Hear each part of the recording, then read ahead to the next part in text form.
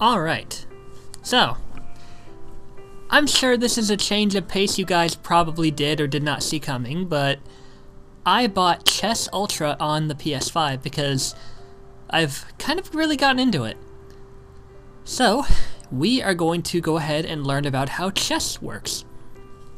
And I'm looking forward to this because um, when I played when I played Real Chess 3D on uh, on the phone, and I won a round after like trying out 20 rounds, I decided, you know what?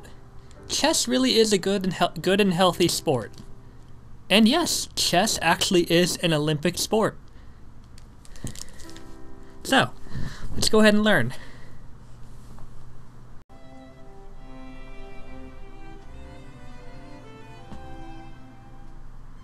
Dude. I remember this music. I remember this music. You know, I used to listen to this very music when I did my schoolwork back when I was homeschooled. I'm not even kidding. I would turn this on because I was the kind of kid who liked. I'm the kind of kid who liked to play music that would help you think and like help your brain. And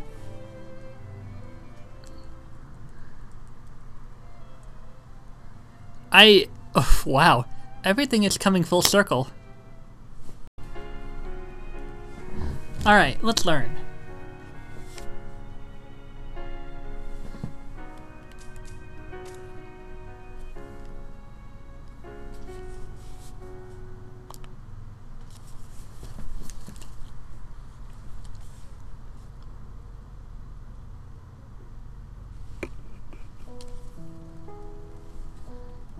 Highlight an individual piece by moving the cursor.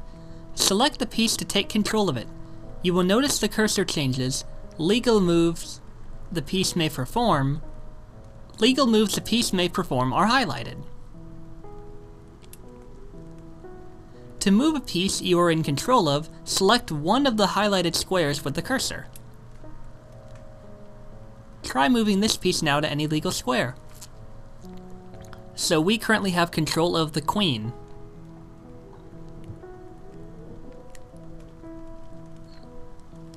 Yeah, see, we, uh... We can really have a better look at everything here.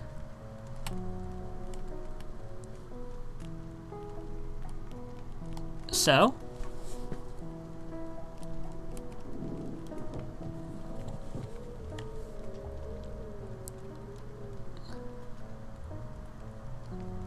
we can go pretty much anywhere.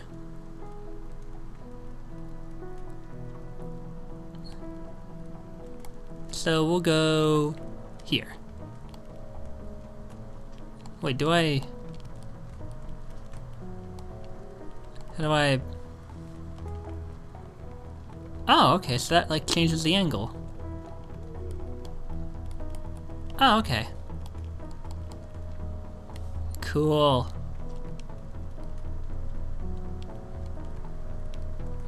How do I...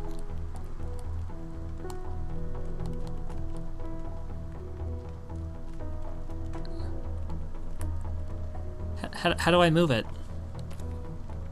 Okay, that pauses the game.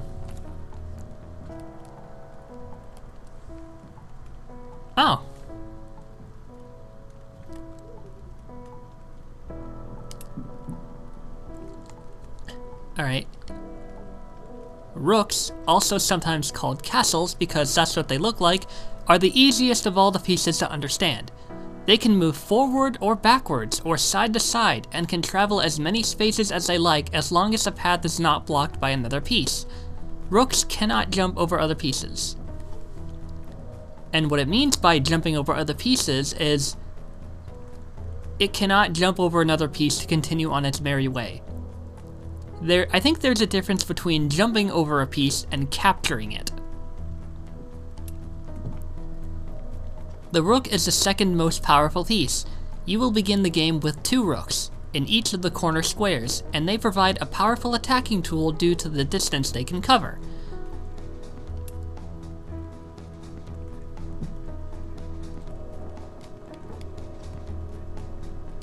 Oh, okay. So I select it and then choose a square. Bishops can be moved diagonally in any direction. Like the rook, it can travel as many spaces as it likes as long as the path is not blocked by another piece. Bishops cannot jump over other pieces. Each player starts with two bishops.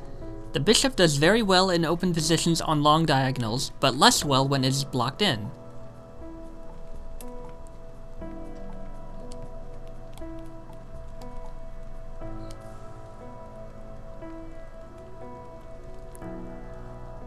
Yeah. The Queen. The Queen has the powers of the Rook and the Bishop combined. She can be moved in a straight line in any direction and can travel as many spaces as she likes as long as the path is not blocked by another piece. The Queen cannot jump over other pieces. The Queen is most powerful and vers- The Queen is the most powerful and versatile piece on the board. You only get one queen at the start of a game, so use her wisely and she will serve you well. Early in the game, it is best to be cautious.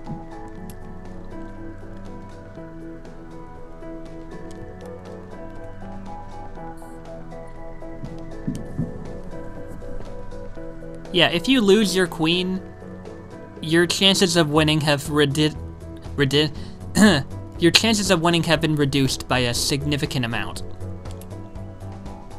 The king can move one square in any direction. The king cannot move into a position which puts him, which puts him directly in danger. The king cannot jump over other pieces.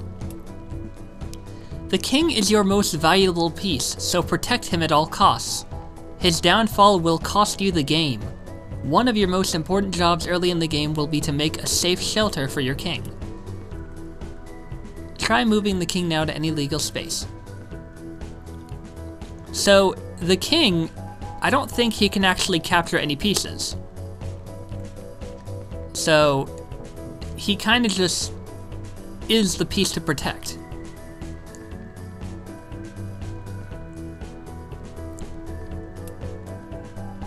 The pawn. Pawns can only move forward. Their first move can be forward one or two squares. All subsequent moves after their first are limited to one move forward. Pawns cannot jump over other pieces. You begin each game with 8 pawns, and they serve as your first line of defense, but that you will learn later they hold a few surprises up their sleeves. It is nearly always a good idea to place pawns in the center of the board early in the game.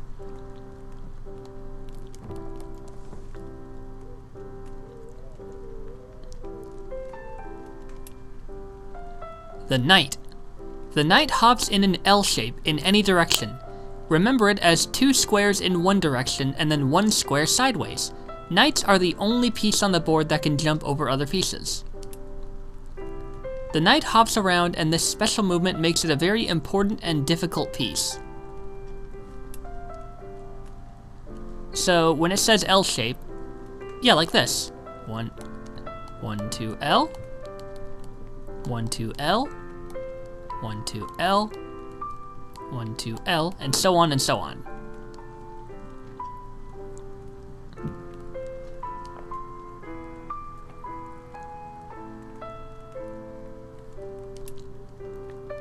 The rook. To capture an opponent piece with a rook, you should move your rook to the square in which the opponent piece is situated. Remember, rooks can only move forwards, backwards, left, or right, and cannot jump over other pieces. Now, when they say they can only move forwards and backwards... Wait. Oh, I'm stupid. The rook, the castle.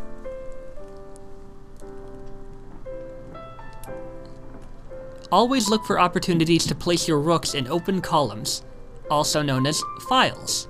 An open file is a file which does not have any pawns on it. Try capturing any of the pieces on the board with your rook. We'll go for the queen. Trophy earned, chop wood.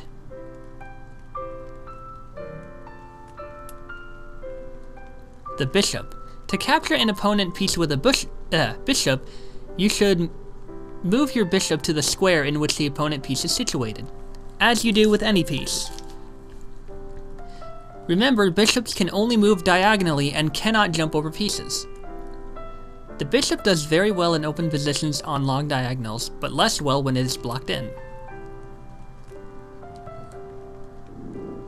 Like so.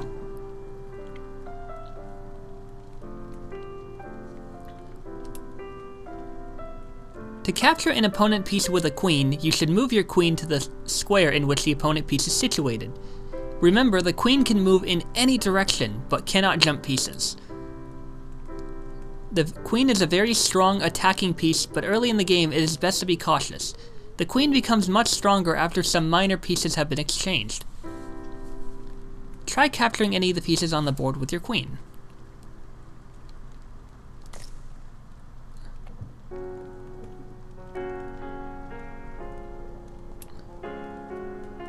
To capture an opponent piece with the king, you should move your king to the square in which the opponent piece is situated. Remember, the king can move in any direction, but only by a single square. In the opening and middle game stages, getting the king safe is very important. Countless games have been lost, even by very strong players when they have forgotten this simple rule. Try capturing any of the pieces on the board with your king. Oh, so it can capture. Did I say before it couldn't? Hmm. You see this? You see how I can't move to some of these? That is because something it didn't mention about actually I, I think it might mention it about the rook. Uh, not the rook the pawn. But if it doesn't I'll bring it up. But the reason it can't move to some of these spots will soon make sense. The pawn Pawns have unique rules when it comes to capturing opponent pieces. Pawns capture by moving one square forward, but this time diagonally to the left or to the right. Oh, so it does bring it up. So the reason I couldn't move to some of the squares as king is because it would have moved the king to a square where a pawn could move diagonally to capture it. It can only happen if a pawn is diagonal away from a king, or any piece. The pawn is the only chess piece which captures in a different way to its, to its ordinary move. Try capturing any of the pieces on the board with your pawn. Like so.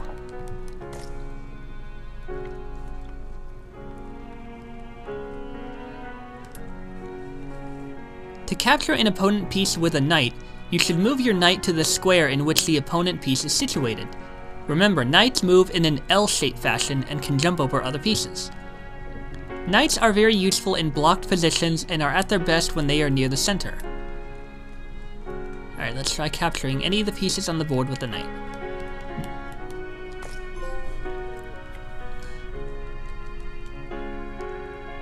Place a white knight on e6. Well, that's specific. Each square of the chessboard is identified by a unique coordinate pair consisting of a letter and a number. The files go up the board and are labeled A through H. The horizontal rows of squares are called ranks and are numbered 1 to 8 starting from white side of the board. The beauty of this grid-like system is that every square on the board has a name of its own, and because every square has its own name, it is very easy to describe a move.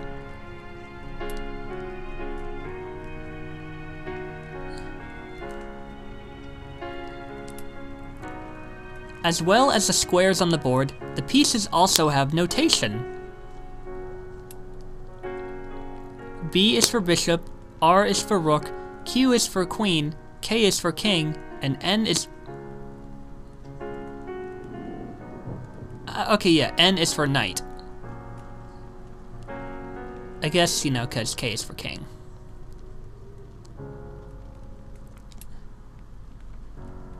Make the move bf6. Okay, so... Like this?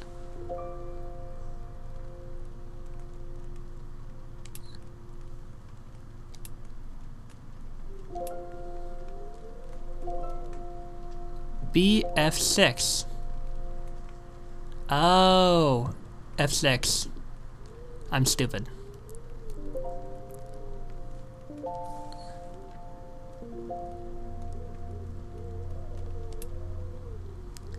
Capturing pieces is also notated.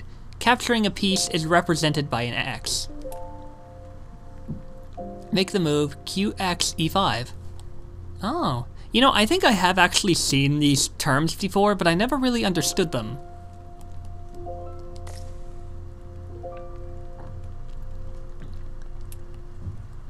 The king is your most important piece. If your king is captured, you lose the game. When your king is under direct attack, it is referred to as check. Check is represented on the board as a line of attack in red. You cannot leave your king under threat. If your king is in check, you must leave check with your move. To do this, you can perform three key reactions. Move away, block the attacking piece, or capture the attacking piece. Try moving your king out of check now.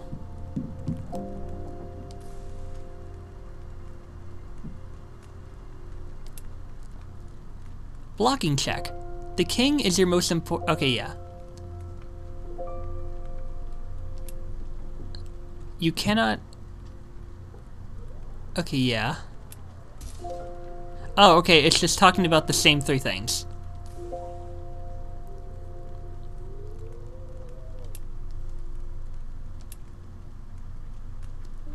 So we attack it.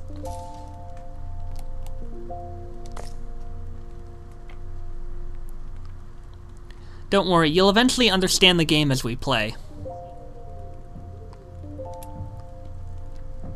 The ultimate aim in chess is to trap the opponent's king.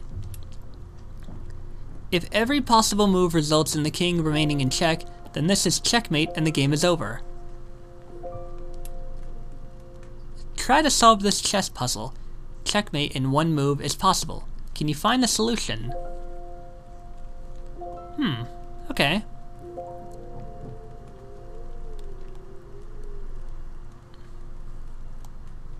Alright, where's the king? That's the king right there. Checkmate in one move is possible.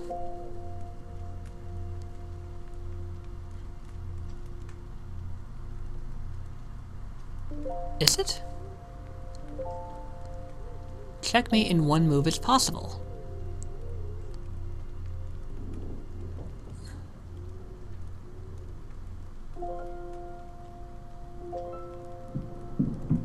You know, I've come across a situation like this. Wait.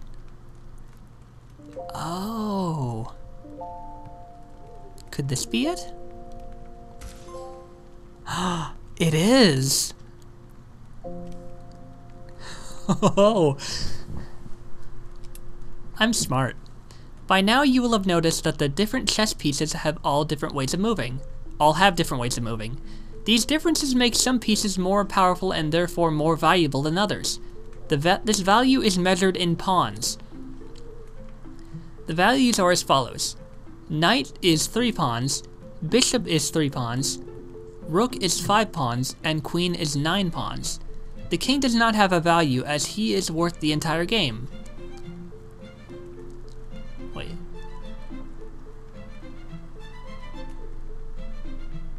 The knight is worth three pawns?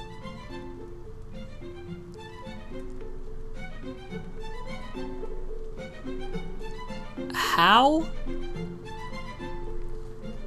I'm not sure how that works. The value of pieces can be used to inform what moves you should and shouldn't make. Which piece should you take? Oh! I think I kind of get it.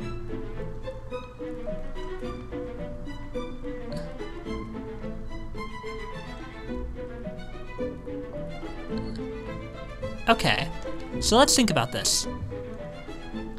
Because no matter what we do, we're gonna wind up putting our knight in a position where it can and will be captured. However,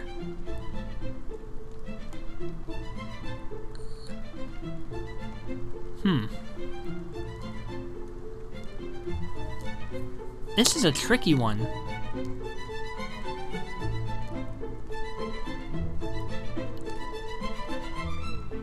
If I take...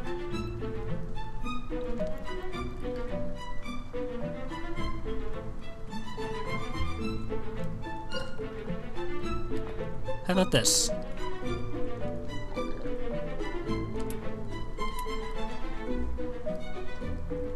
Knight is 3 pawns, bishop is 3 pawns, rook is 5 pawn pawns, and queen is 9 pawns.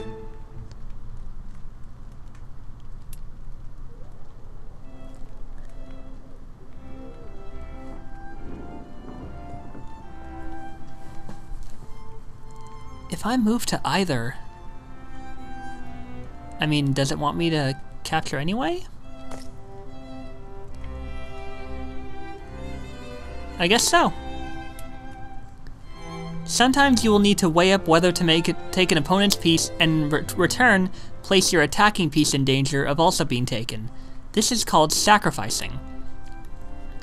Remember the values of the pieces. Knight is worth 3 pawns, bishop is worth 3 pawns, rook is worth 5 pawns, and queen is worth 9 pawns.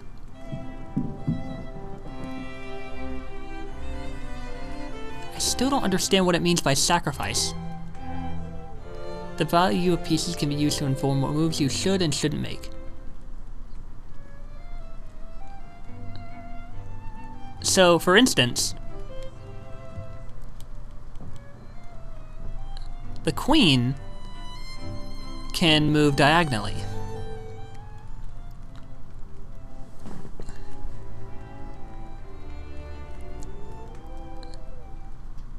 Either one of these could make a move.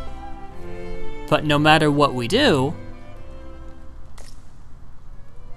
the knight will take it. Just once in each game, you are allowed to make a special move involving your king and one of your rooks. This is called castling. It is the only time in chess that you can move two of your pieces together in a single turn. It is also the only time your king can move more than one square in a single turn. If neither the king or the rook have moved from their starting squares and the path between them is empty, then it is possible to castle. The king cannot be in check and cannot move into check. Castling on the right side of the board is called kingside castling and is written down as 0-0 or 0-0. Perform the move now by moving your king to g1.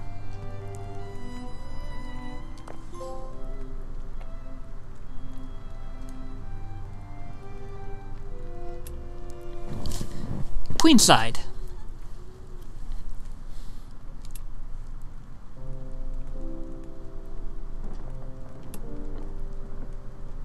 Castling on the left of the board is called queenside castling and is written down as 000.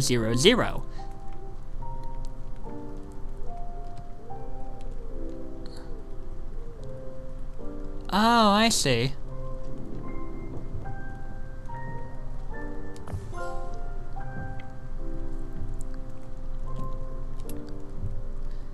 Pawn promotion is a really important idea in chess. The basic idea is that if a pawn reaches the opponent's back rank, it can be replaced with any piece except a king. We say the pawn has promoted. You can choose any piece you like to replace the pawn.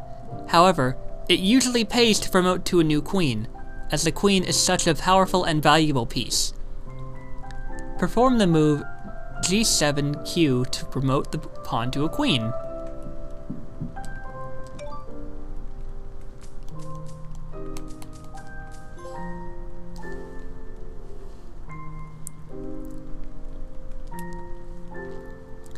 Even if you are only just starting, you should know about the, the sneaky en passant rule.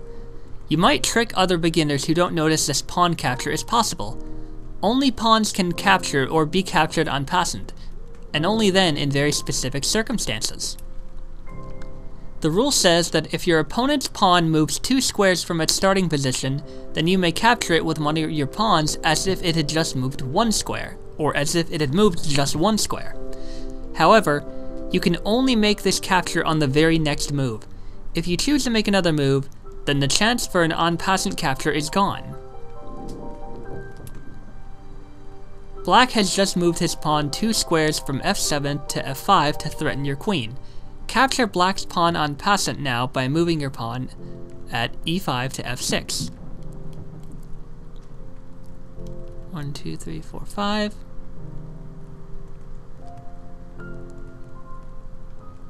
So, like this? Oh.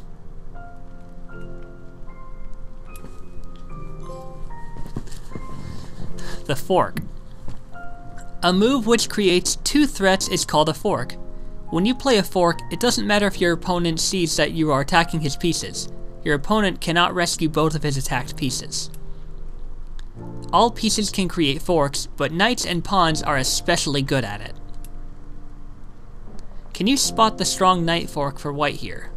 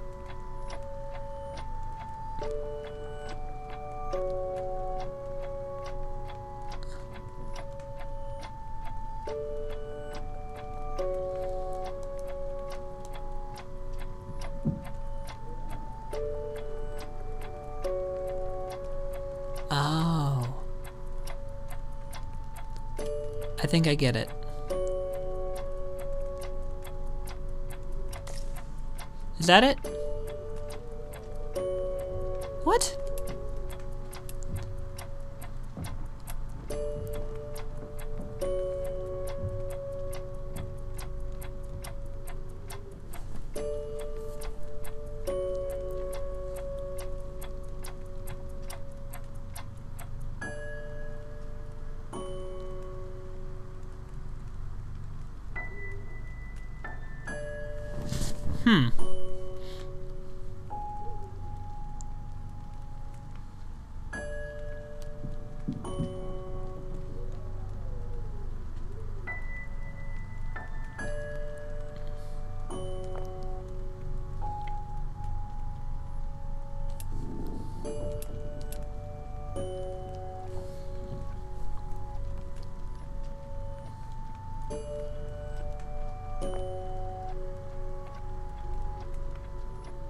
Okay, is there something I'm doing wrong?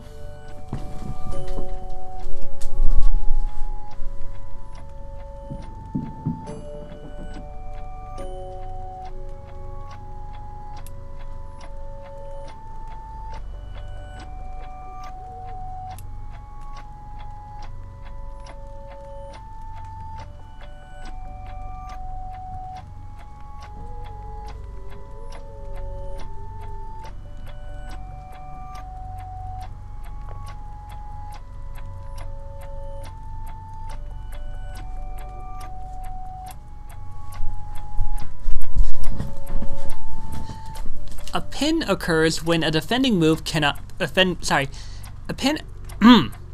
a pin occurs when a defending piece cannot move because it would expose a more valuable piece to attack.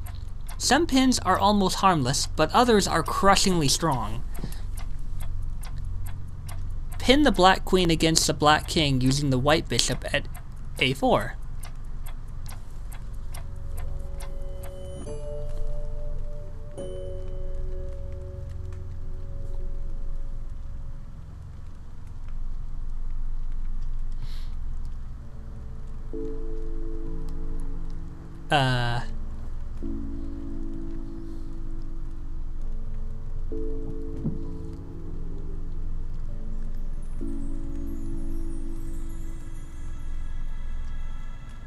Like this?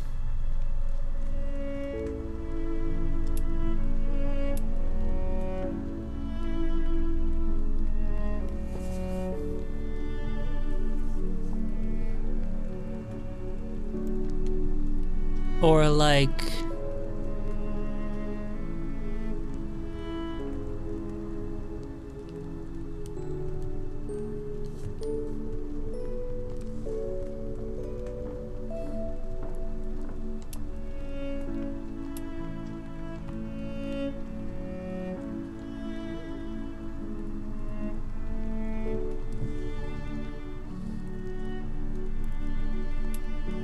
Okay, am I doing something wrong?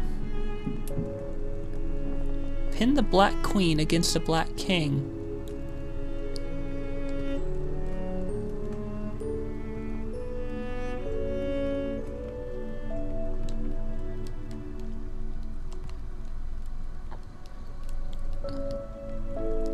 One of these tiles has to do it.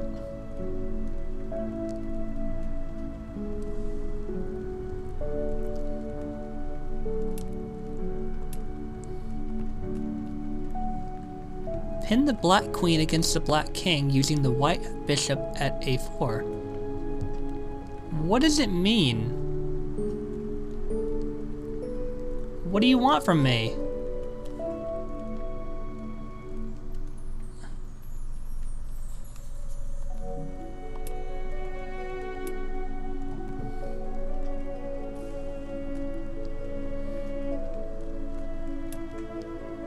Man, some of these lessons I've not done before.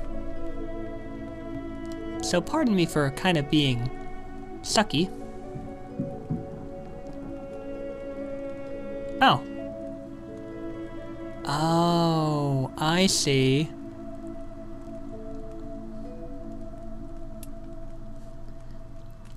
A skewer occurs when two enemy pieces are attacked along a rank, file, or diagonal. When the move more when the more valuable piece in the front moves out of the way, the piece behind is captured. It is the reverse of a pin.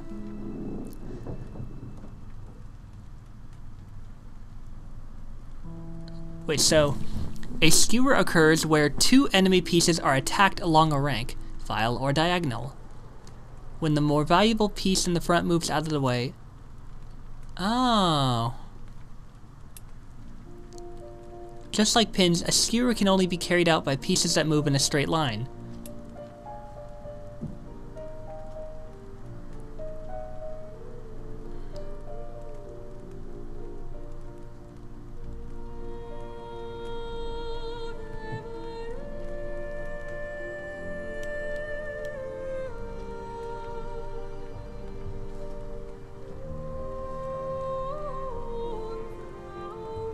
Hmm.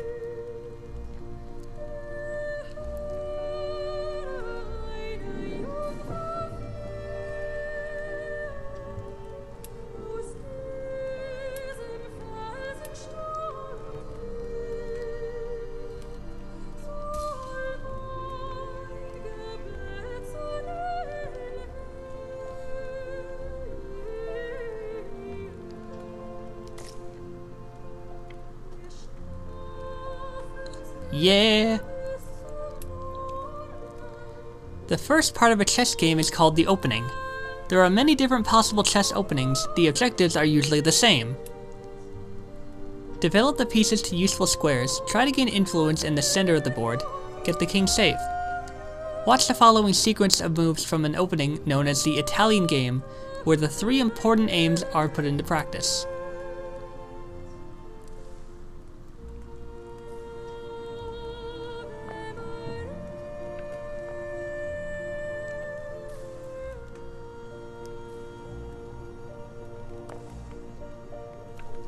Ah.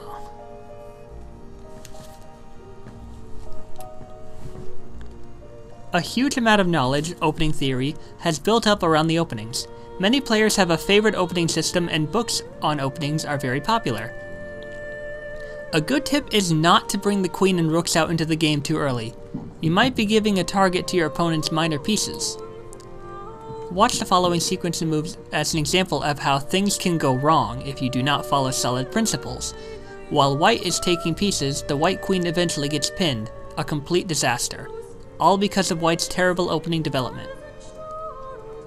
So here's what's not what not to do.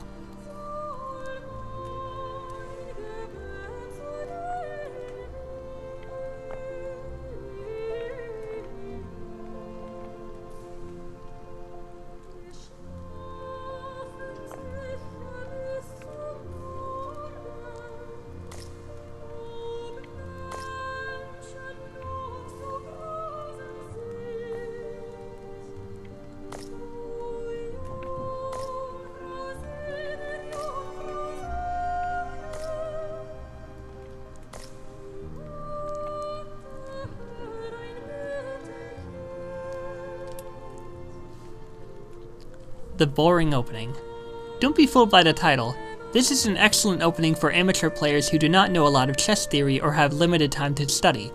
It's easy to learn and at the same time solid and aggressive play that keeps black's counterplay to a minimum, thus boring your opponent. White's opening move is d4. Play that move now. Black will often reply with what is known as King's Indian Defense and play nf6.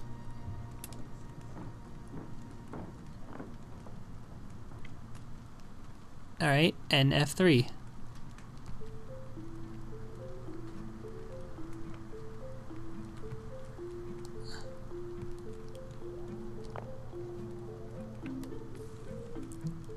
bf4.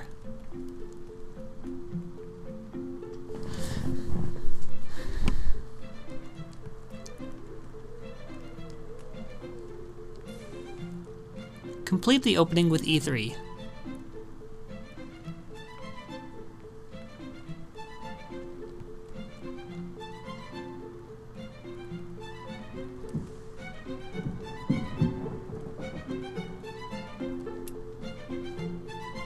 After 10 to 15 moves, the opening is over and the middle game begins. The middle game calls for clever maneuvering as both players try and gain small advantages in position. One of the most important things is to think ahead. Try to anticipate what your opponent might play in response to your moves. Also keep a lookout for a combination, a series of forcing moves that might, might win you pawns or pieces. Watch this short combination where white wins the pawn. Both white and black lose a knight in the process, and black also loses a pawn because the black pawn at d5 is being attacked in combination with the white knight at, at c3 and the white rook at d1.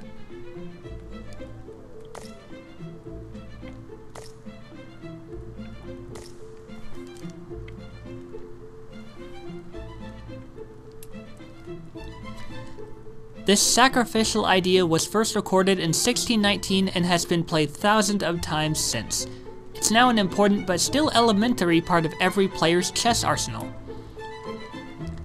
Begin by forcing the black king out of his safety castle position with the move bxh7. Okay.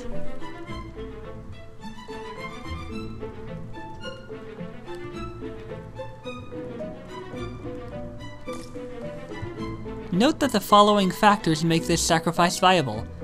1. A white bishop on the b1 h7 diagonal ready to sacrifice itself. 2. A white knight on f3 poised to jump to g5 and hunt the black king once exposed. 3. A white queen on d1 ready to follow the knight to g4 or h5. 4. White's dark squared bishop on c1 guards the c5 square, the g5 square, and allows the knight safety, as well as making h6 a bad place for the black king to run. 5. White's pawn on e5 keeps black defenders and king off f6. If all of these factors exist, then a bishop sacrifice has a great chance of success. Black now responds taking the bishop and the sacrifice begins to play out. Make the move ng5 plus and watch the king retreat into his hole. Okay.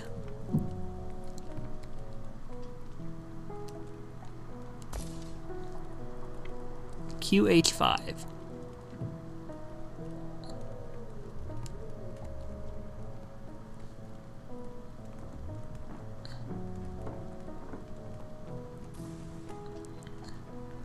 QF 7 plus.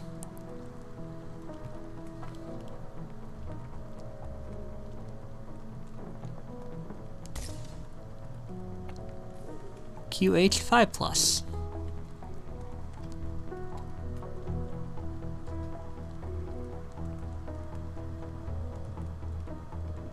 Uh, okay.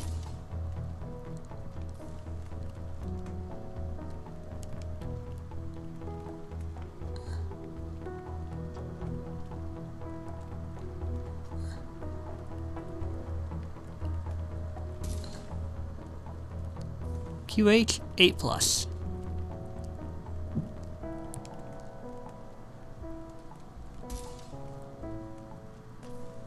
QG QXG7.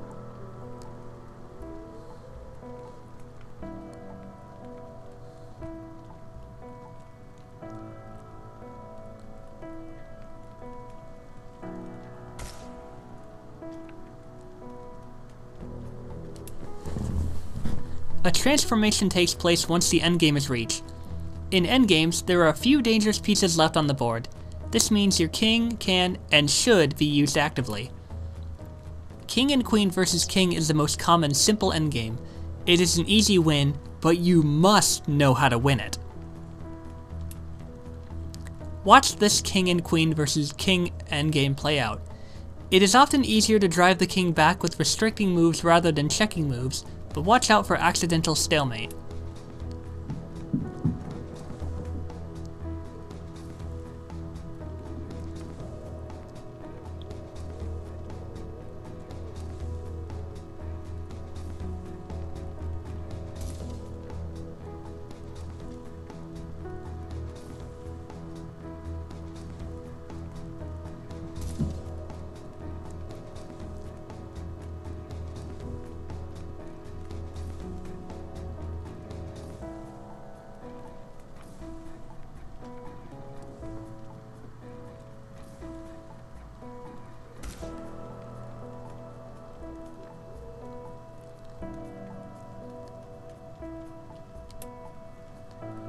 Triangulation sounds complicated, but in truth describes a very simple strategy.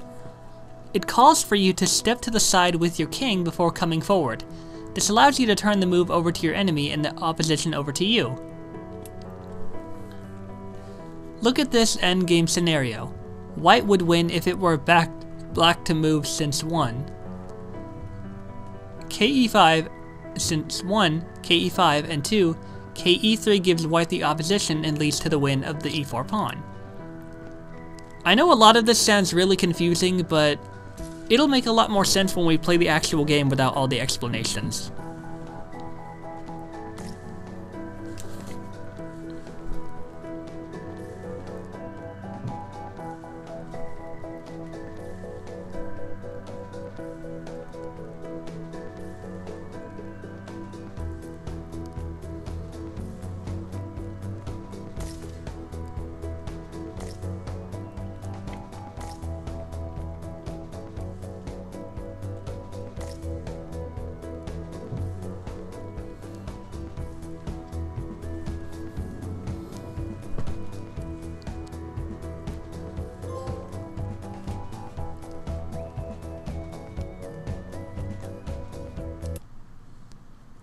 And now, we play a game next time.